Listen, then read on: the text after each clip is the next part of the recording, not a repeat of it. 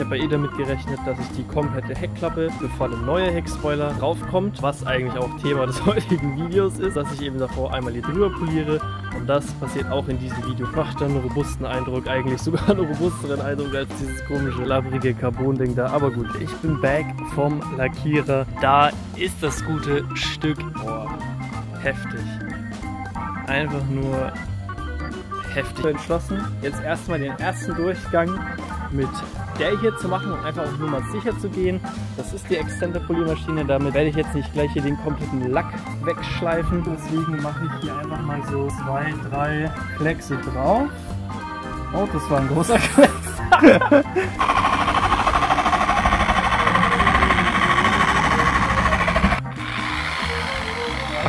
Scheiße.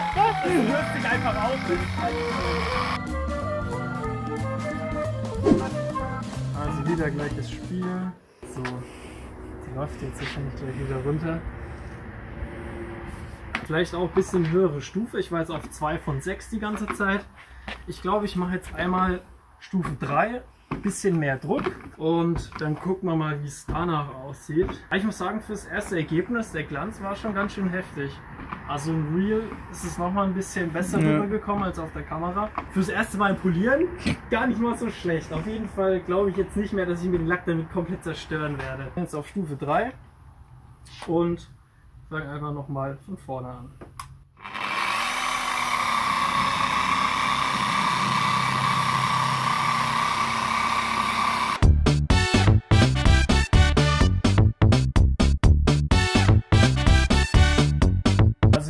Zweiten Durchgang jetzt durch. Wir haben auf Stufe 3 anstatt auf Stufe 2 poliert und ich habe ein bisschen mehr Druck gemacht und ich habe auch ein bisschen äh, mehr mich hier an dieser Stelle aufgehalten, wo die hauptsächlichen Kratzer sind. Und jetzt kommen wir kurz her mit der Kamera. Jetzt sieht man auf jeden Fall schon eine deutliche Besserung. Es sind immer noch Kratzer da, aber man sieht auf jeden Fall, dass es mittlerweile von dem einen auf den anderen Durchgang definitiv besser geworden ist. Jetzt mit der Politur noch drauf, sieht man wahrscheinlich nicht so viel auf dem Handy. Mhm. Ja, man sieht schon fast gar nichts mehr. Ich gehe jetzt hier einmal mit dem Mikrofasertuch drüber, dann werden sie wahrscheinlich wieder sichtbar. Aber es ist auf jeden Fall eine deutliche Besserung zu merken. Jetzt nur die Frage, wie viele Durchgänge mache ich jetzt hier noch mit der Exzentermaschine oder hole ich doch mal die Rotationspoliermaschine raus und guck mal, wie es damit läuft.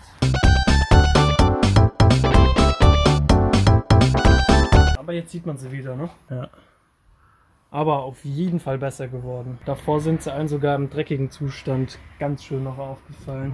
Jetzt glaube ich, wenn da ein bisschen Dreck drüber ist, siehst du sie wahrscheinlich schon fast ja. gar nicht mehr. Sieht man jetzt nur noch ein bisschen, weil die gerade komplett poliert ist, die Heckklappe. Aber ich glaube, ich mache noch einen mit der Excenter. Dann mal gucken, wie es danach aussieht. Und dann hole ich vielleicht auch noch mal die andere raus. Uh, digital. Aber Aber er lässt mich es nicht umstellen irgendwie. Ja, also wir haben uns jetzt doch nochmal kurzfristig umentschieden. Ich werde jetzt die Rotationspoliermaschine auch mal benutzen, einfach damit ich vielleicht keine 300 Durchgänge brauche, um die Kratzer komplett rauszukriegen. Und falls ich mir Hologramme reinmache, damit haben wir immer noch die externe Poliermaschine, um diese rauszumachen. Das ist zumindest der Plan. Jetzt ist nur die Frage, ich weiß nicht, warum er mich jetzt hier keine verschiedenen Geschwindigkeiten auswählen lässt. Ich kann nur ein- und ausschalten. Aber, ah, dann, okay. Ja, moin. Also die hat auf jeden Fall ordentlich Dampf. Ach so, 10 ist 10 ist das kleinste. Okay, ich werde jetzt glaube ich erstmal einen Durchgang auf der kleinsten Stufe machen. Sie hat ja mehr Dampf auf der kleinsten ja. Stufe als die auf der vollsten Stufe. Also wir werden sehen. So viel kann ja nicht kaputt gehen, glaube ich. Cut. Auto brennt. Ich beruhige mich einfach selber immer. So, hier haben wir sogar so einen geriffelten Schwamm. Kannst du auch nochmal zeigen. Ich glaube, der ist... Der auch sehr weich ist. Genau, der ist sehr weich, sehr smooth. Ich glaube, dass das auch ein bisschen dazu beiträgt, dass man noch mehr abträgt als so ein glatter Schwamm einfach nur. Wobei, keine Ahnung, das sind alles nur Mutmaßungen. Also falls hier sich irgendjemand von euch auskennt, ihr dürft mich gerne korrigieren. Sagen, dann einfach die Fresse halten. Ja, genau. Oder das. Ich denke mal, vom Prinzip hier ist es mehr oder weniger das gleiche. Die hatten ein bisschen einen größeren Auflageteller, fällt mir gerade auf. Du hast ja eine große Fläche. Richtig. Und ab dafür.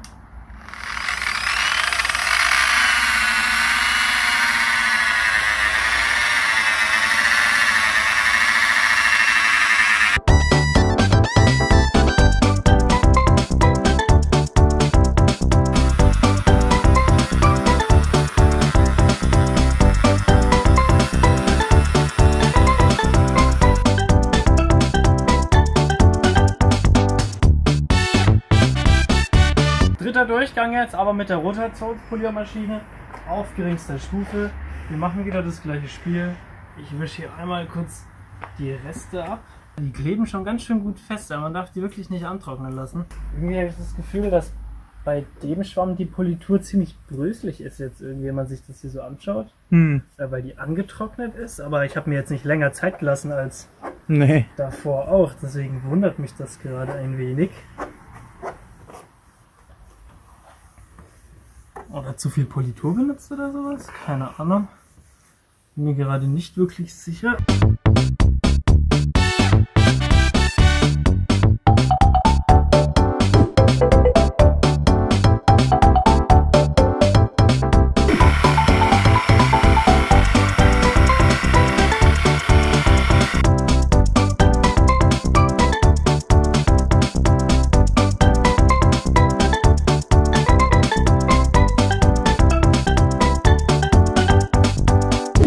Mittlerweile fertig geworden mit Polieren. Der Chris auch schon weg. Wir haben es natürlich heute nicht mehr geschafft, den Heckspoiler auch noch dran zu kleben. Das mit den Kratzern, bis die alle draußen waren, hat dann leider doch etwas länger gedauert, als wir zuerst gedacht haben. Aber ich zeige jetzt gleich mal das Endergebnis und ich muss sagen, für die Umstände bin ich doch sehr zufrieden. Ich werde vielleicht morgen, bevor wir den Spoiler ankleben, also ja, wir kleben ihn morgen an, bevor wir den ankleben, werde ich vielleicht doch noch einmal drüber polieren, um wirklich so die allerfeinsten Kratzer auch noch rauszukriegen. Aber ich bin mit dem Ergebnis jetzt eigentlich auch schon so zufrieden, dass ich den Spoiler eigentlich jetzt hätte schon drauf machen können. Aber nichtsdestotrotz, ich zeige euch jetzt mal kurz das Zwischenergebnis oder vielleicht Endergebnis schon, je nachdem. Ich probiere es erstmal von etwas weiter weg und ohne Blitz. Ich finde actually, ich weiß nicht, ob das auf der Kamera so rüberkommt, aber man erkennt einfach von hier schon, dass die Heckklappe einfach viel heftiger am Glänzen ist als die komplette Stoßstange zum Beispiel. Ich bin im Großen und Ganzen jetzt dafür, dass es mein erstes Mal polieren war, echt zufrieden. Die Kratzer, die ich hier euch am Anfang gezeigt habe, die ich eigentlich, naja, damit beseitigen wollte, sind fast ganz raus. Also ich tue mir gerade wirklich schwer, die auf der Kamera noch einzufangen. Ich glaube, ich schaff's ohne Blitz sogar gar nicht, dass man die noch sieht. Gerade hier ganz leicht wirklich, also minimal sieht man's und auch nur in der Spiegelung sozusagen. Tut sich aber gerade ein bisschen schwer mit dem Fokus. Also hier so ganz leicht sieht man sie noch bei direktem Lichteinfall. Aber von hier auf der Kamera keine Chance. Und ja, in echt tut man sich hier auch schon auf jeden Fall schwer, die Kratzer hier noch zu sehen. Was mich ein bisschen mehr abfuckt, sind diese Flecken, die dieser scheiß Klebstoffentferner hier hinterlassen hat. Die sind leider nicht weggegangen. Ich weiß nicht warum oder wo, woran das liegt, aber die Flecken da oben und auch die Streifen hier an der Seite, jetzt sieht man sie auch noch ein bisschen besser. Wenn man sich bewegt, sieht man die ganz gut. Die sind leider partout nicht weggegangen. Und ich bin hier auch jetzt bestimmt auf dem Teil locker zwei, dreimal drüber gegangen. Mal gucken, vielleicht mache ich mir morgen nochmal die Mühe und mache noch ein, zwei Durchgänge, bevor wir den Heckspoiler hier dann letzten Endes an die Kante montieren. Aber für heute ist es auf jeden Fall erstmal gut. Ja, was kann ich ein bisschen sagen als Fazit? Also es ist einfacher, als ich gedacht habe, wirklich. Also mit der Excenter-Poliermaschine auf jeden Fall. Die Rotationspoliermaschine, die war schon etwas kniffliger auf jeden Fall, weil die, also ich hatte irgendwie das Gefühl, dass die einem immer so abhaut, weil die sich halt wirklich nur in eine Richtung dreht und die hat dann halt immer den Drall in die Richtung, in der sie sich dreht. Ist auch um einiges schneller von der Drehzahl als die andere her. Aber mit der auf jeden Fall für so einen blutigen Anfänger wie mich ging voll klar ein echt gutes Ergebnis erzielt. Politur hatte ich euch ja schon gezeigt, glaube ich. Falls nicht, einmal hier Sonax, einfach mit der heftigsten Polierwirkung, weil ich halt wollte, dass die Kratzer rausgehen. Mehr habe ich mir dabei auch nicht gedacht. Schraube ich mal kurz mein Kennzeichen ran, falls ich heute noch mal irgendwo hin muss. Für euch geht es jetzt gleich weiter, wenn wir entweder die Kante hier noch mal ein bisschen mit Isopropyl, Alkohol präparieren oder den Heckspoiler vielleicht noch ein bisschen anschleifen und da das Klebeband drauf machen.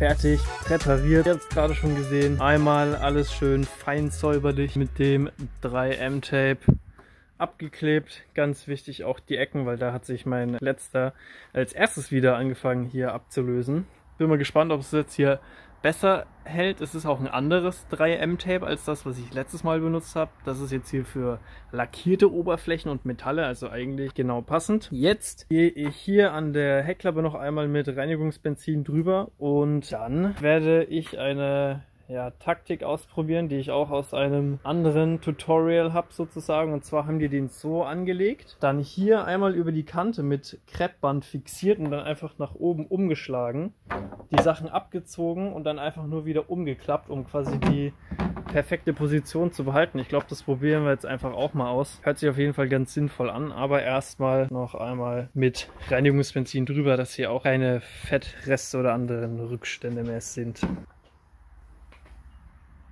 Wie das jetzt schon auf der Kamera aussieht. Guckt da mal durch, wie das jetzt die Heckklappe und der Spoiler so am Glänzen sind, Alter. Heftig, Mann. Heckspoiler ist jetzt perfekt ausgerichtet. Man sieht die Passgenauigkeit auf jeden Fall. Hier so einen halben Millimeter ist noch Abstand. Genau wie auf der Seite auch noch so ein halber Millimeter. Jetzt haben wir hier links und rechts einmal ein Kreppband fixiert. Und was jetzt als nächstes passieren wird, ist, dass wir den einfach so umklappen. Einer hält, einer zieht die Schutzschicht, die Anti-Klebe-Schutzschicht vom 3M-Tape ab und dann wird der einfach nur mit Hilfe der ja, ja, so Scharniere sozusagen wieder nach unten klappt und dann angedrückt und ist automatisch in genau der perfekten Position.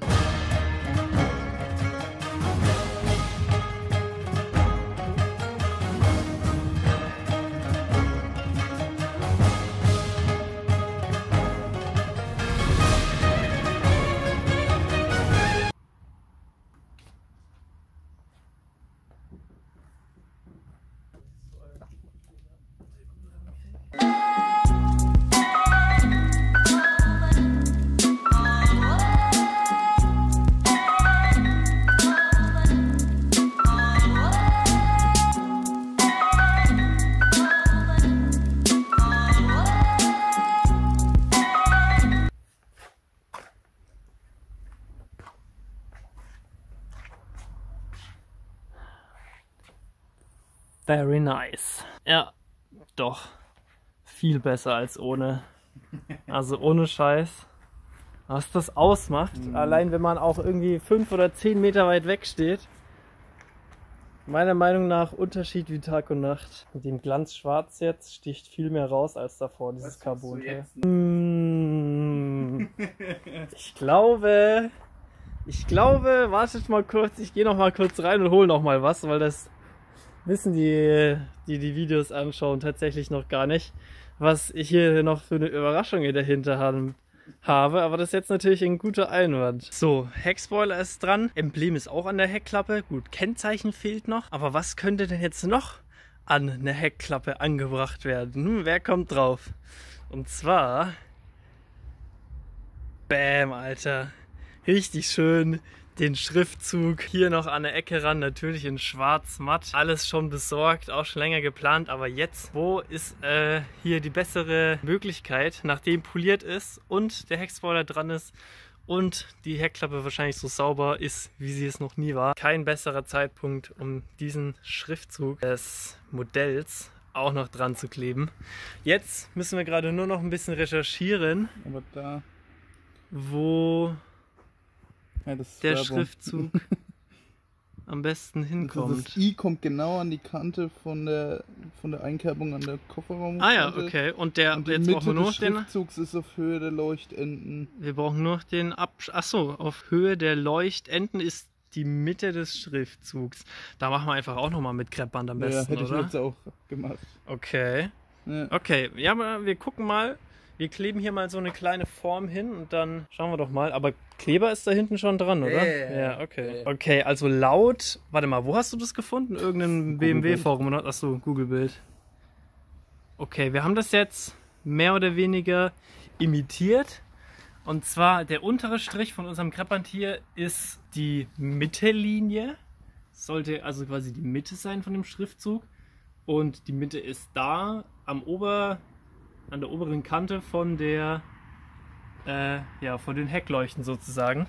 Das heißt, die Höhenpositionierung wäre ungefähr so, dass diese Kante genau in der Mitte vom Schriftzug ist und das I schließt genau bündig ab mit der Kante, die hier von der ja, Einkerbung fürs Kennzeichen kommt. Sieht aber eigentlich gar nicht mal so verkehrt aus, ne? Ja, eben. Das müsste schon richtig sein. Ja, ich glaube, so machen wir das. Das Kreppband macht, wirkt halt dadurch ein bisschen. Ja, aber ich glaube, so ist es auf jeden Fall richtig. Jetzt wird es nur noch interessant, weil ich sehe schon, die sind in der Verpackung schon ein bisschen verrutscht, die Buchstaben. Wir haben jetzt eine Lösung gefunden und zwar bleiben wir genau bei der Positionierung. Man sieht, die Kante vom Kreppband geht genau in der Mitte vom Schriftzug durch. Ich glaube, rechts musst du noch ein bisschen nach oben. So, ich glaube, jetzt müsste es so langsam passen. Aber die sind auch ein bisschen schräg draufgeklebt. Ich würde sagen, wir machen lieber Buchstabe für Buchstabe Ja, ja. runter. Weil ich gehe noch mal kurz einen Meter zurück und schaue es mir an. Dann werden wir hier an die Unterkante noch einen Kreppstreifen kleben, dass wir genau da quasi drauf aufsetzen können mit den mm, Zahlen. Dann machen wir den oberen weg und den an der Seite, na, den müssen wir noch dran lassen, theoretisch. Ja. Ich mache jetzt erstmal kurz den unteren dran. Wir haben jetzt alle unnötigen Kreppstreifen entfernt und wenn unsere Berechnungen und Abmessungen hier stimmen, könnten wir jetzt hier genau 335i ankleben. Das Problem ist, dass Schriftzug auf dem Papier hier schon ein bisschen schräg ist. Ich weiß nicht, ob man sieht, aber die und die Zahl sind auf jeden Fall nicht genau gerade. Das bedeutet, ich werde mich jetzt daran machen, das Ganze einfach per Hand, jede Zahl einzeln aufkleben. Ich denke, der Abstand hier zwischen ist hier immer so vielleicht ein bisschen weniger als ein halber Zentimeter oder so, vielleicht so 4 Millimeter. Hier sind es vielleicht so 7, 8 oder vielleicht auch ein Zentimeter, keine Ahnung. Ich glaube, ich fange dann auch mit dem I Ja. an, um ehrlich zu sein. Jetzt ist nur die Frage, das ist ja alles komplett schräg. Aber Das glaub, I das ist genau in die genau Flucht rein, von ne? dem Crepe, genau, ja. Die haben sich was dabei gedacht. Ja. Wer hätte es gedacht? Ich glaube tatsächlich, das ähm, ist der Grund dafür, dass es am Ende so wirklich so stimmig halt auch ausschaut. Mhm. Und da auch der Grund dafür, dass man so schnell merkt, wenn irgendjemand das ein bisschen schräg oder auf Center halt hingeklebt hat. Okay, dann gucken wir doch mal. Ach du Scheiße, das wird jetzt nochmal spannend. Kleb's noch nicht ganz feste an. Erst wenn alle drei dran kleben. Bisschen mehr, so ungefähr wahrscheinlich. Ne? So wie das I einfach. Nochmal genau die gleiche Breite. Safe. Ja. Uff. Oh, der Kleber Echt? ja, ist heftig, ja. Bisschen weiter nach unten muss ich, ne? Aber der Abstand könnte passen. Oh, das ist ganz schön schwierig, Alter. Holy shit. Jetzt bist du ein bisschen nah am I. Richtig. Das könnte passen, oder? So, und die haben jetzt nur, ich muss mir den mal einprägen. Das ist wirklich weniger als ein halber Zentimeter. Das könnte passen, Ja. oder? Ja, Wichtig ist ja dann, dass das Verhältnis von den dreien insgesamt stimmt. Wenn es jetzt ein Mikrometer Unterschied ist zum Original. Das ist wieder so ein klassisches Ding von äh, jeder Außenstehende wird es einfach nicht bemerken und denkt, dass es perfekt ist. Also hoffe ich zumindest, dass es am Ende so aussieht. Okay, kurz gucken. Ich glaube, da muss ein Stück rüber, oder? Ein ganz kleines Stück. Ganz kleinen Ticken nach Ja. rechts, ja. Aber die anderen drei sehen ganz gut aus. Ja.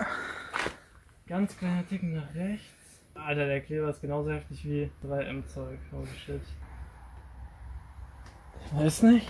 Doch, doch, oder? Das ist, glaube ich, okay. Ich muss mal ein paar Sekunden woanders hinschauen, um das wieder beurteilen zu können. Ist genau eine Flucht. Soll ich es andrücken? Mhm. Jetzt kann ich noch minimale Nee. Veränderungen vornehmen. Das passt. Ich glaube auch.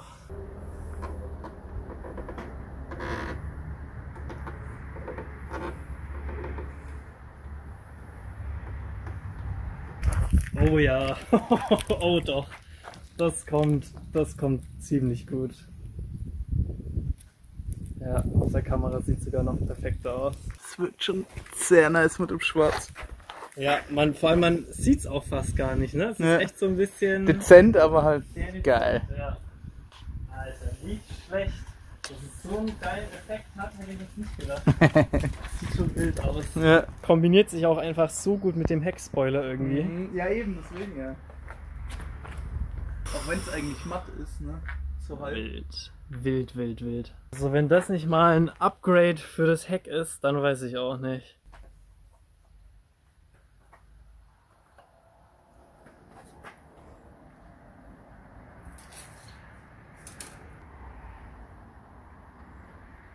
Ah ja, ganz wichtig, was ich jetzt fast vergessen hätte, das machen wir jetzt natürlich im Anschluss noch.